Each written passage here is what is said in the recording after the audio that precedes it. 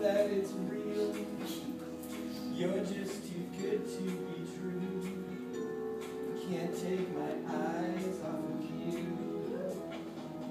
When we first met, I was eating some